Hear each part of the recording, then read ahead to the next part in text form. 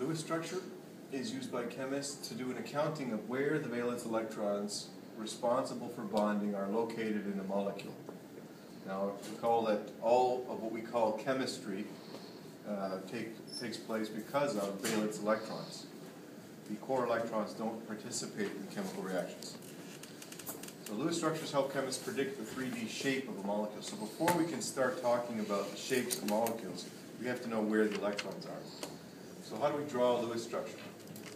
First of all, we count up the total number of valence electrons and the elements involved.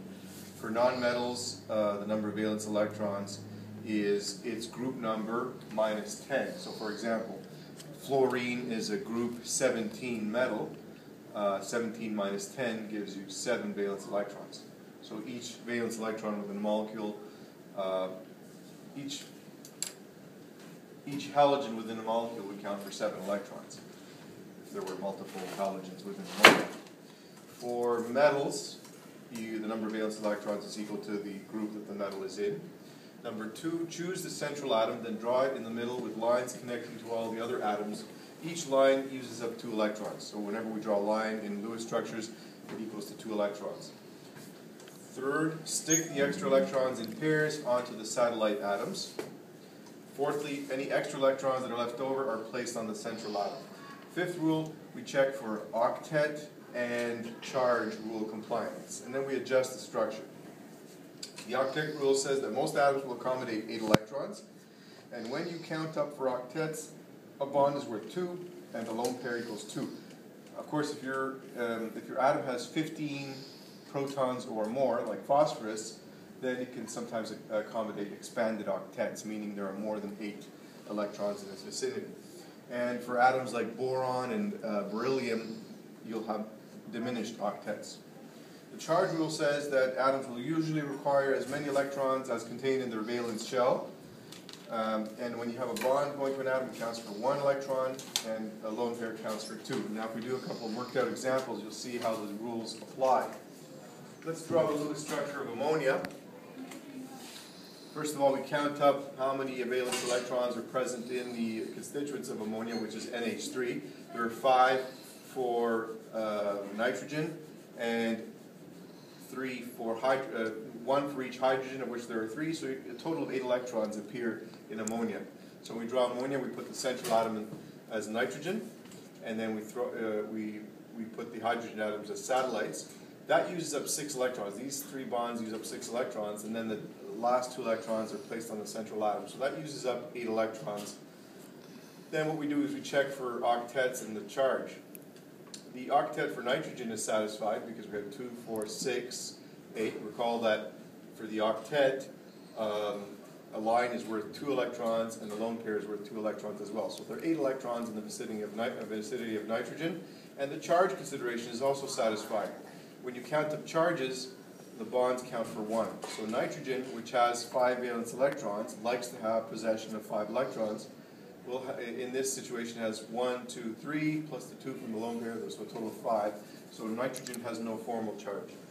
The hydrogen likes to accommodate one valence electron, and it has a duet, not an octet. So this counts as two. So the octet requirement, so-called, is, um, is met for hydrogen, and the charge requirement is met as well for ammonium, ammonium has the formula NH4 plus. When you count up the electrons, you put a 1 uh, plus charge, which means that one electron is subtracted from the total formula. Nitrogen is 5, four hydrogens each have 1, and then you subtract 1, so you again have 8 electrons in the Lewis structure for ammonium. When you draw it up, you'll see that there are 4 lines going to nitrogen, so nitrogen has a fulfilled octet, but only has four out of the five electrons that it wants in its valence shell, so it will have a formal charge of plus one. All the hydrogens are fine. And I took the liberty of doing nitrogen triiodide, although I, um, well, it's not a very stable compound, it's actually explosive. It's uh, unstable in that uh, it can be detonated when it's dry. Uh, nitrogen has five electrons, iodine has seven, and there are three iodine atoms. So this, is a compound that's analogous to ammonia. And you'll see that it, take, that it has 26 electrons in it. So in this case, uh, we put the three bonds going to the, the iodine atoms, and then that only uses up six electrons. So what we do is we put six electrons around each iodine atom, so that, uh, because we realize that iodine likes to have seven valence electrons. And then, once we've done that, it uses up twenty-four electrons, the last two we place on the central atom.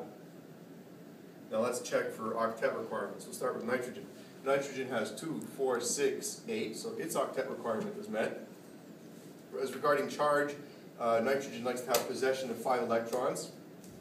So it possesses one, two, three, plus the two here, that's five. So its charge requirement is met. Iodine likes to have a fulfilled octet, two, four, six, plus the one, uh, plus this uh, bond, which also accounts for two, so two, four, six, eight.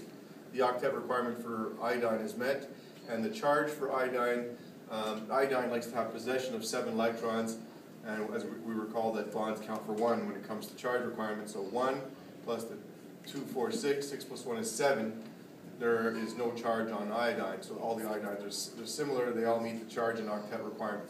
This would be the, a valid Lewis structure for nitrogen triiodide. Next one, we look at phosphate. Phosphate, uh, the phosphate anion has a negative three charge, so we count five for the phosphorus and uh, six electrons for each, uh, for each oxygen atom. Remember, oxygen is in group sixteen of the periodic table.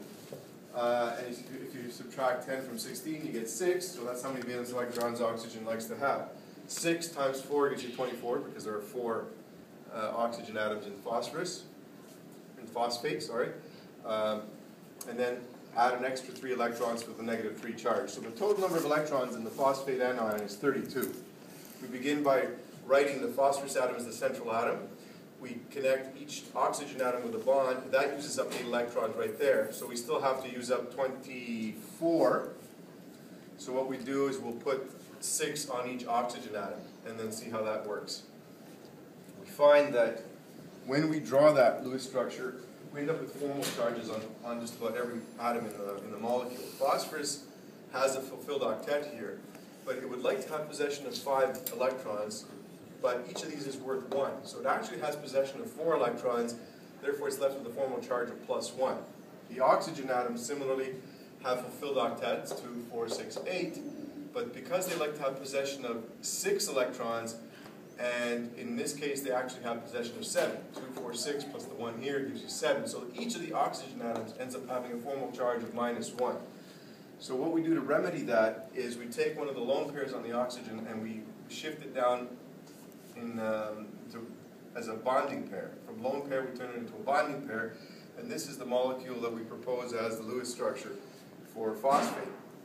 And what happens is this oxygen loses its formal charge, and these three remain the same. And what ends up happening is that phosphorus has an expanded octet, so it has more than eight.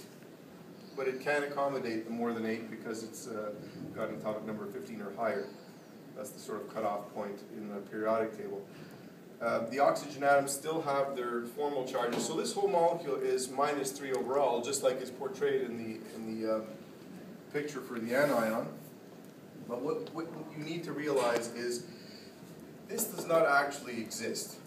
And traditionally we draw the different canonical structures, but what you have to realize is that the electrons are moving at two-thirds the speed of light. So they're whizzing around in there, and they're actually distributed evenly, evenly among those four positions. So what you really have is five bonds distributed over four positions. It's more accurate to say the bond character of phosphate anion is one and one quarter, because five bonds are shared over four positions.